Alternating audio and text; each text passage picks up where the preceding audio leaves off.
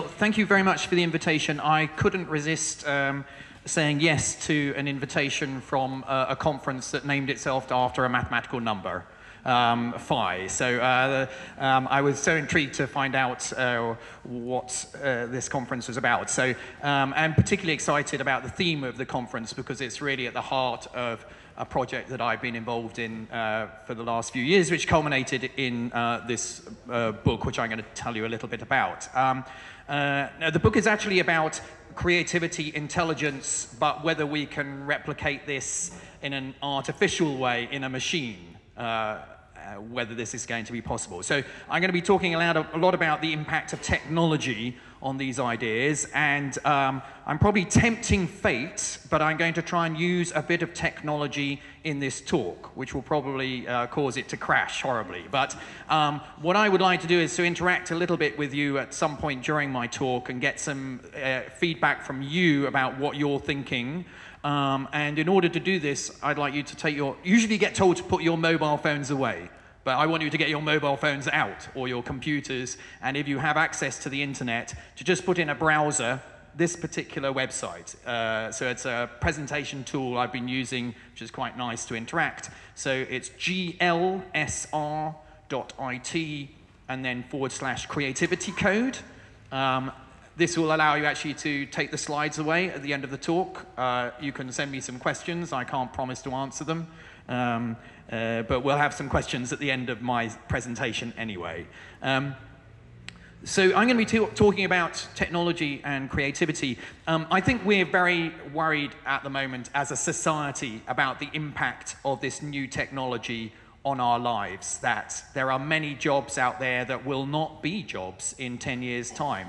Um, driving, being a driver, being an accountant. Uh, many of my mathematicians that I teach in Oxford go on and become accountants, that is not going to be a job in 10 years' time. Uh, very much something that we can done by, by in, uh, artificial intelligence. Um, but I think there's one thing that we believe is something that artificial intelligence can never get near, and that's creativity.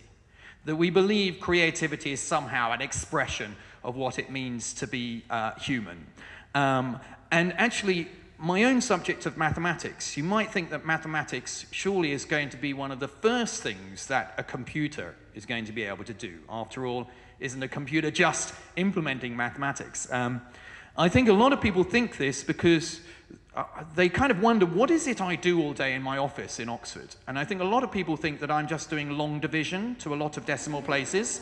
Um, and if that was true, if that's what a mathematician does, then certainly a computer is much better at long division than I am. Um, but that's not what I do. And I actually regard mathematics as a highly creative um, uh, subject. Uh, it involves uh, somehow, mathematicians are storytellers. They're storytellers with our characters being numbers and geometries, and we take people on a journey which is an emotional journey, um, which is not just about producing all the true statements about numbers and geometry, that many of them are completely boring.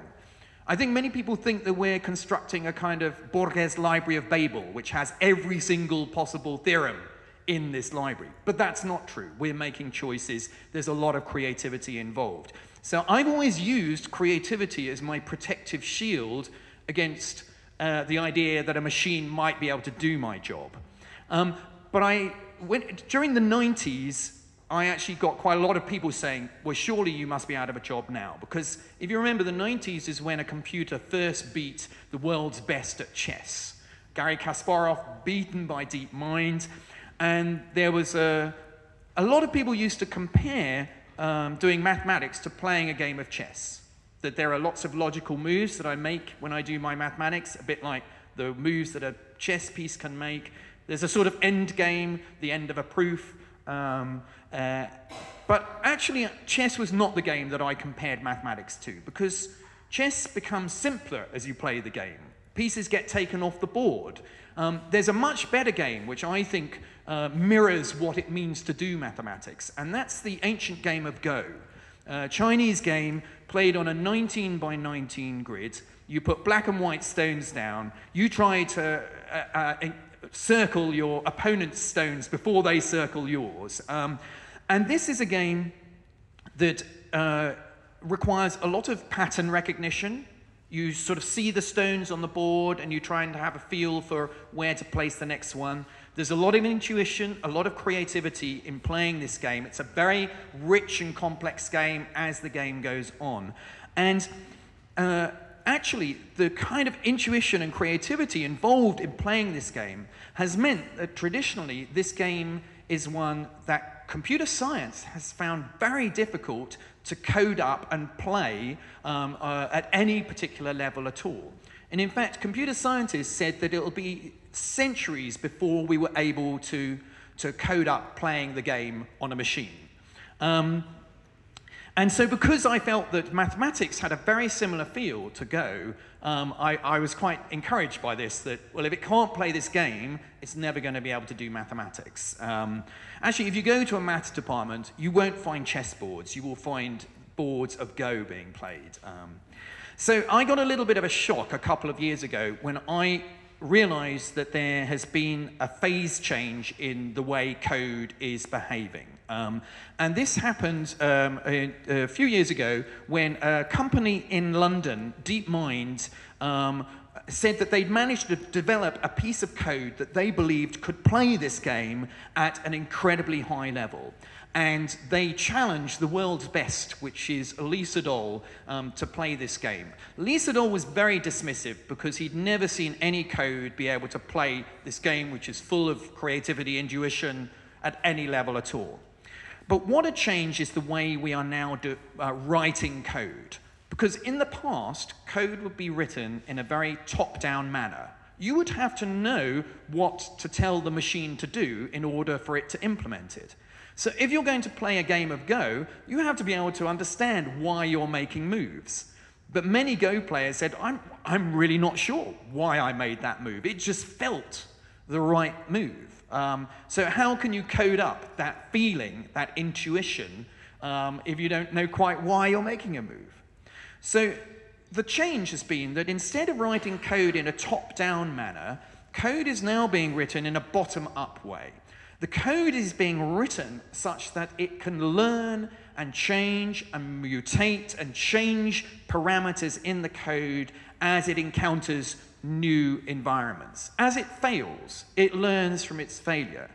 As Beckett said, fail, fail again, fail better. This is what this machine is doing and learning from its failure, which of course is how we learn best. We learn best when we make a mistake. That's how uh, children learn best. We have equipment in here which is very good at updating itself when it encounters something it's um, got wrong, and it reparameterizes the neuronal network to get it right next time. So this is how code is being written now, in order to be able to learn from a digital environment.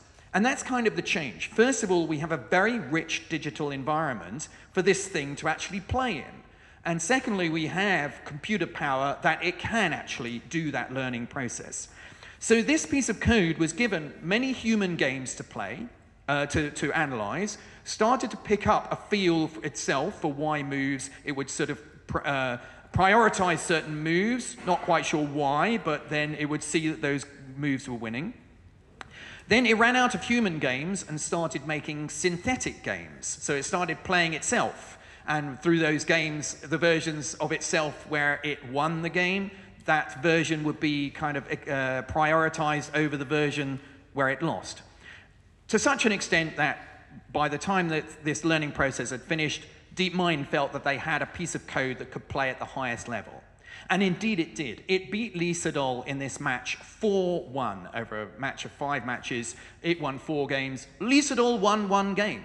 And he now regards that as the most valuable game of his whole career, that he managed to beat this machine. Um, so we're quite used to machines doing things better than humans. That's not such a big surprise, is it? I mean, uh, we've seen go, uh, computers playing chess. Uh, machines can fly. I can't fly. I mean, uh, machines can go faster than I can. Machines do calculations faster. But what I think was really a gear change uh, in this particular story is that I saw something which I believe um, was a creative act made by this piece of code. And this happened in the second game of uh, the, the match against Lee Sedol. Uh, Lee Sedol had played um, a white stone down on move 36. Um, he was already exhausted by this stage and decided he needed to go to the top of the hotel to have a cigarette break. Um, humans, we still need nicotine in order to stimulate our creativity. Um, the code did not need nicotine, it carried on thinking. Um, and then it asked the human player to place a black stone um, on the fifth row in. I've, I've put a little white circle on it. Interestingly, we still needed humans to pick up the stones and put them on the board because we still find robots, uh, you know, that's a very fiddly thing to do. And we've, over evolution, managed to have amazing kind of manual dexterity, which uh, machines are still not good at. But this was an exercise in pure thought.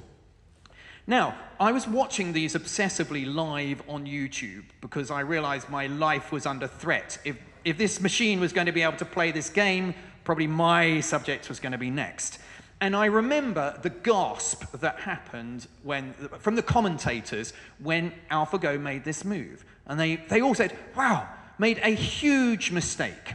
Because early on in the game, your Go Master teaches you that you should not play any further in than the four rows in from the edge. This is where early competition is made for territory, for the very edge of the board and the beginning of creeping into the center.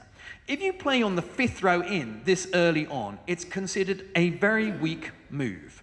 Um, and so the com uh, commentators were very encouraged that Lee Sedol should be able to win the game from this point. Lee Sedol came down from his cigarette break, and you can see the, the double take. He, he, he looks at the stone on this fifth row in and can't believe why this machine has played. He's already seen the machine plays at a very high level.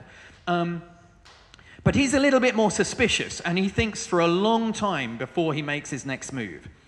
As um, the game goes on, competition emerges for the, the stones um, growing from the bottom right-hand corner. And it turns out very late on in the game that it's the, um, the player who put down that stone on, game, on move 37 that controlled that whole territory. So that black stone played at move 37 turned out to be incredibly value, valuable. It won AlphaGo this game. But it was considered early on, was this just a mistake? Now, for me, this passes three tests that I think uh, we should uh, be looking for in something that we might call creative. Um, actually, this is something I learned from Margaret Boden, a cognitive scientist, uh, philosopher, that I was on a committee with at the Royal Society, we were looking at the impact of this new technology on society in the coming years. Um, and she's been thinking for some time about what she calls tin cans uh, might be able to do or not do. Um, and she has quite a nice working definition, since um, I think there are going to be many, many different definitions um, and investigations of this word over the next three days. But here's one to just start with, which I think is quite a useful uh, uh, uh definition to, to, to use in this particular context. So she regards it as something that should, should be new. Um, well, computers are quite good at generating lots of new things, um, but are they interesting? So here are the two other qualities. It should be surprising to us. It should take us into a new realm to help us to see things in a kind of new way, but kind of move us emotionally. And it should have some sort of value. Now, of course, surprise and value New is something we can judge objectively. Surprise and value are much more subjective and would vary from one culture to another, one place to another. Um, but the point is, machine learning, if it's given data that we regard as having value and having surprise, then can't it learn from that and produce something that will also uh, make us feel it has value and surprise? Um, so uh, having seen this, so I think this move 37 passes these tests. It was a new sort of move. It surprised the commentators because they all gasped. And in a game, you can judge value very easily because it won AlphaGo that game. Um, and also, the exciting thing is that this move has taught us how to play this game in a completely new way. We thought we'd found the kind of optimal way to play this game, um, but what AlphaGo has shown us is that although we thought we were at the peak of playing this game, this was only what we call in mathematics a local maximum. That in fact, there was a kind of fog around us, and AlphaGo, this piece of artificial intelligence, has cleared this fog and shown us no, there is a much superior way to play the game. Um, and this is what I think is exciting about this new tool for us, uh, you know, as humans being creative, is that I know that in what I do, I can very get stuck in particular ways of behaving. You know, things that work. And I will just do the same thing over and over again because it worked last time in my mathematical strategies. Um, and I can actually end up behaving much more like a machine, just repeating behaviors.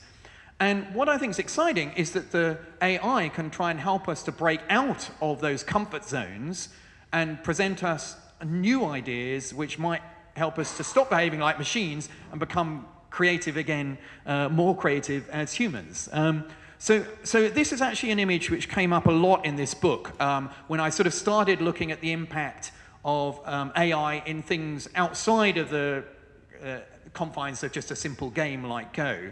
Um, how, where else could it be creative? If it's learning, you see, what I think is exciting about that move, and why I really think we should think about it as something that was created by the code, is that if a human um, had programmed that, uh, actually, they would have programmed the thing never to make that move.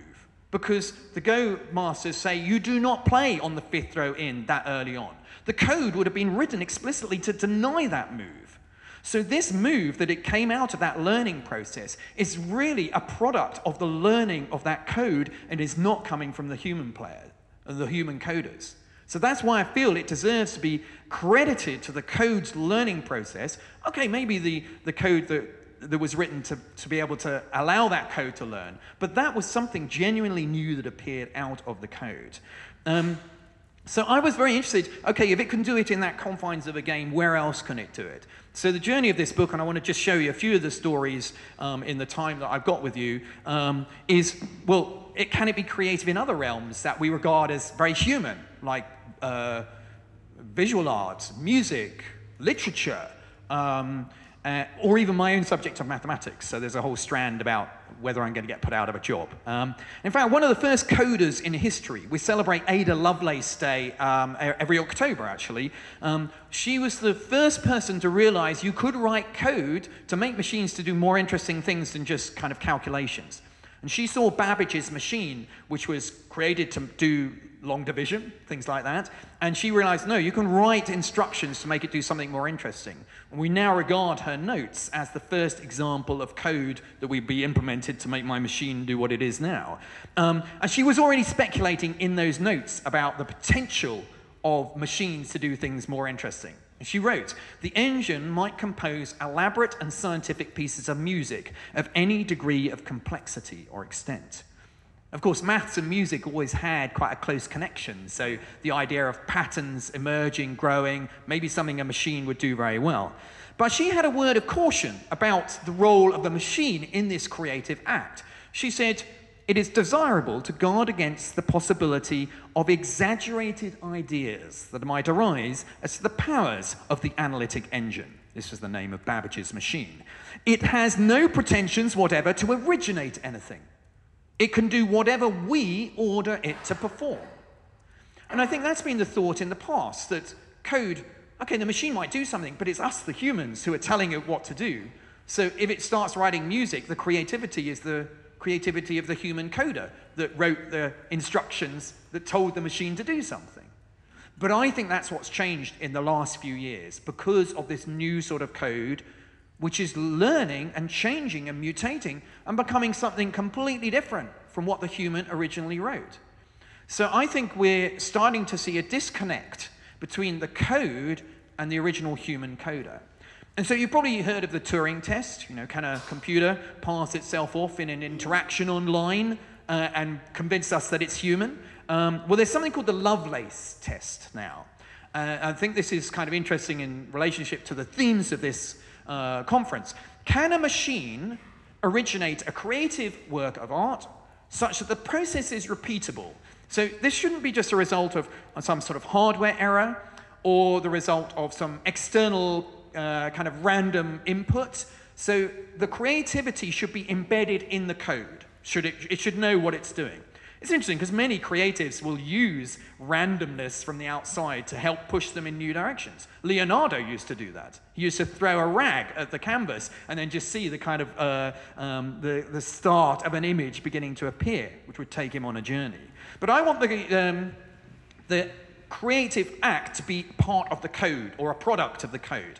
But here's the challenge. The programmer who wrote that original code is unable to explain how the algorithm produces output, such that it, the coder, you know, oh, well, I didn't tell it to do that. I don't know why it did that. But um, so the learning process has taken the code into a realm where the coder just doesn't have any control or understanding of it. Um, so here's the challenge. How good is um, uh, AI uh, trying to challenge this idea of um, it still being the human that's producing the thing. Well, I'm going to start with the um, visual realm, actually, because that's where AI has been very successful over the last few years. Um, uh, kind of vision recognition software is extraordinary because of a learning process that is going on. Give Google image uh, recognition software any photo that you've got, it will amazingly tell you what's in that photo. Um, so I'm going to start with the visual realm. And um, here I'm going to start to, I'm going to offer you a challenge, okay? So here are two paintings. One of these is done by a human, and you can probably recognize which human. This is Rembrandt. Um, so Rembrandt has a very particular style of painting, his use of light, um, the way uh, the portrait is kind of uh, set. Um, uh, but one of these is actually done by a piece of machine learning, which has learnt on all the portraits that uh, Rembrandt has made and has learnt that style so much so that it could reproduce something. So I'm going to send these to your mobile devices, um, hopefully, uh, uh, let's see. Um, so if, if, no network at all, okay. Uh, some people are getting, um, uh, okay, uh, I mean, we can go analog. I can I'll get you to put up your hands as well. Um, uh, but if you have a phone, you could send, uh, let me just see whether, uh, so there should be two, um, uh, is anybody able to send me some information? Okay, well, uh, um, let's see. So there should be some data coming through. Um, okay, so we can. So here, here's the data of what you're thinking, and you can add to the data if you feel that. Um, so let me just tell you are somebody's voted and taken it. Um, so let me just explain how this data is working. Um, so. Uh, pie charts work clockwise. So the red actually corresponds to the image on the left rather counterintuitively. So at the moment, you're going for the image on the left as the artificial one, and the image on the right is only 30% going for that one. Um, I, I, did try and write a piece of code to flip these over, but my coding is not good enough that I managed to do that. Um, okay, so interesting. So who voted for the image on the, so there's a bit too much light on this, unfortunately, but who voted for the image on the left as the one being artificial? Um, yes, what, what is feeling artificial about this?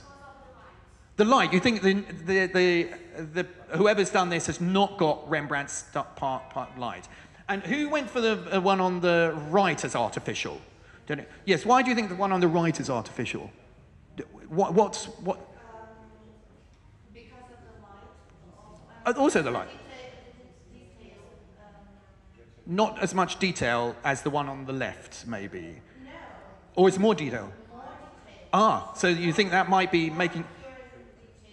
Uh, interesting. Okay, so um, let me. Uh, so it is in fact the image on the left is the artificial one, but I think the fact that you know you're uh, pretty torn. I mean, what was the the vote in the end? Okay, I mean you were doing pretty well. Obviously, you're all highly uh, artistically sensitive and know. Uh, it was quite hard for me actually to find a Rembrandt that you wouldn't actually know already.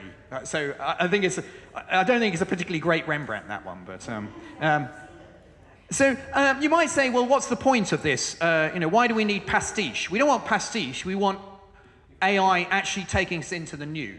Um, and in fact, one of my favorite art historians in The Guardian really hated this project. He said, what a horrible, tasteless, insensitive, and soulless travesty of all that is creative in human nature when technology is used for things it never should be used for. Um, uh, but actually, uh, I, anyone who wears a shirt like that, I don't really trust as an art critic, but there you go. Um, so we want to go into the new. So here's your next challenge. Four of these paintings are done by a human, and four of these paintings are done by artificial intelligence. So again, I'm going to send these to your computer. For some reason, it's only showing me one image there, but hopefully you're seeing on your um, machines two images, and I want you to press on the one you think's artificial. Which one do you think is not done by a human? Artificial. Choose the artificial one. Which is the one that just doesn't feel right? Um, uh, so are you, are you able to show? So let's see again. Um, oh, so that's either. Oh, here we go. Yes. Uh, let me see. There are five people who have voted so far. So um, yeah. Well, okay. Right. Here we go. So it's sort of. Um, so again, remember the the red corresponds to the images on the left, and the yellow corresponds to the images on the right. So so um, sort of three, two to one image on the left. So again, who, who chose the images on the left as artificial? Yes. What's artificial about the ones on the left? Boring, boring, just it feels a bit boring. Somebody's just put, okay, yes, and uh, what about the images on the right? Who chose the images on the right? Yes, what's the images on the right? Uh,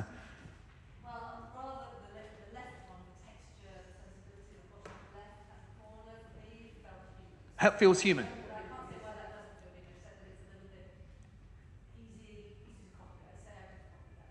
Oh, you think you could copy these? I think these are quite complex. These is kind of uh, interesting. Okay, well, um, let's see uh, which one. Uh, so, um, so in fact, you you were right. The, these ones, um, images, the images on the right are the artificial ones, and the ones on the the boring ones are the human ones. But uh, uh, it's interesting because these were shown at Basel Art Fair, and people were not told that there was any AI involved in this at all, and they were asked for their reaction and the four on the right elicited a more emotional response from the viewers than the ones on the left. And when they were told they were done by AI, they all felt incredibly cheated. You know, um, and why do we feel cheated? Because we feel like we want to be connecting to some inner kind of world, somebody else's way of seeing the world, and, and, and you feel cheated by that. And this is why I think actually of all the projects visually, um, the following one is perhaps the most interesting. Um, this is the Google image recognition software. And uh, if you give it this image, this is a. Uh, I play for a string quartet in London, and um, uh, this is our quartet. Uh, when I gave this to Google, it was able to recognize four people, violins, a viola, and a cello inside here. Really amazing. But then Google said, okay, it's good at recognizing, but what's it really seeing? What's it really seeing when, it when we show it an image? Um, and this is the challenge because if code is becoming so complex, learning, changing, we're beginning to be unable to tell how it's doing what it's doing. And this is becoming more and more important as these things are making decisions about our job applications, about um, uh, criminal investigations and things we need to know why the code is making the decisions. And we're losing control of that because the code is, is going through a learning process and becoming so complex. So we really don't know how it's seeing things. So Google said, well, let's reverse the process. Let's say, um, just dial up any other things that you're seeing inside this picture. Let's see what you're really seeing. So I put this through um, this thing called Deep Dream, um, and, and this is what appeared. Um, so suddenly our first violinist became this kind of jaguar, and the three other strings became a sort of car that's sort of beginning to appear in there. And it helps us to understand the learning process about what it's seeing. And here's a particularly striking example. It was just given a grey background, asked to see what are you seeing inside here, and it started to see dumbbells appearing. But the dumbbells always had arms attached to them. Why? Because it had never been given anything to learn about dumbbells which were not a strong man or woman holding a dumbbell. It thought a dumbbell was an extension of our anatomy. And so when it started to draw dumbbells, it always put arms and hands on them. So this is giving us the art that it's producing is allowing us to see the inner world of the code. We're beginning to learn about bad learning. I did an event last year with a woman uh, from MIT Media Lab. Um, she's a roboticist. And she had some robots delivered to her, um, which had some visual recognition software so you could interact with them. But when she went in front of these robots, they didn't, they didn't recognize she was there until she put a white mask on. She is black. And these robots would only respond to white people. And when she lifted up the bonnet to see the code about how it had learned, it understood it had been only ever given pictures of white males to learn on. And so this is really important that we have tools to understand the kind of inner world of the code. So she started something called the Algorithmic Justice League, which I think is a great name for an organization. Um, but in a way, this is the point about our creativity.